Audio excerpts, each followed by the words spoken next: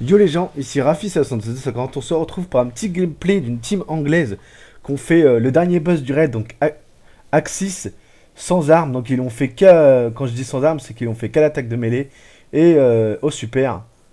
Donc voilà, donc je vous laisse avec ce gameplay et je vous dis une prochaine pour une prochaine vidéo. Salut